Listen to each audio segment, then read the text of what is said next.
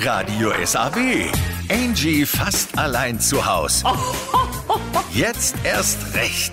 Joachim, Frühstück schaffe ich heute nicht mehr. Du, unser Lütter in der Partei hat da was falsch verstanden. Was? Wir haben doch gesagt, dass wir jetzt bei der Neuaufstellung der CDU Gas geben wollen, nicht? Und daraufhin setzt sich Philipp Amthor in seine Karre, drückt aufs Pedal und lässt sich in der 70er-Zone mit 120 blitzen.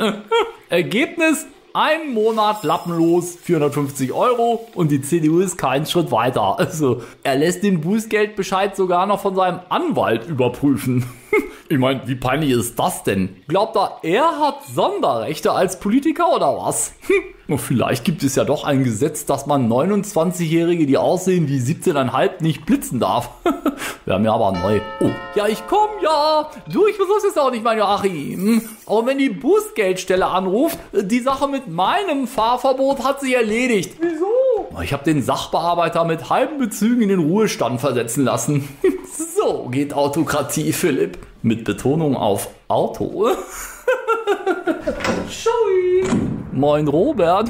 Na, heute schon geboostert? Äh, guten Morgen. Äh, Ich bin doch noch gar nicht dran, Frau Bundeskanzlerin. Robert, nicht so bescheiden. Du bist doch jetzt einer von den oberen 10.000. Da genießt man schon ein paar Sonderrechte. Aber Frau Merkel, die Menschen denken doch. ähm, Robert, die Menschen denken sowieso, dass wir die haben. Wäre doch blöd, wenn wir uns die dann nicht auch nehmen, nicht? Pass auf, wir treffen uns heute Abend bei Luigi Amore, ein kleiner Italiener hier um die Ecke. Und da essen wir ein bisschen Antipasti und ich gebe dir ein paar sehr wichtige Telefonnummern, okay? Ähm, ja, was muss ich dafür tun? Du, du gibst mir einfach nur eine wichtige Telefonnummer. Eine? Deine.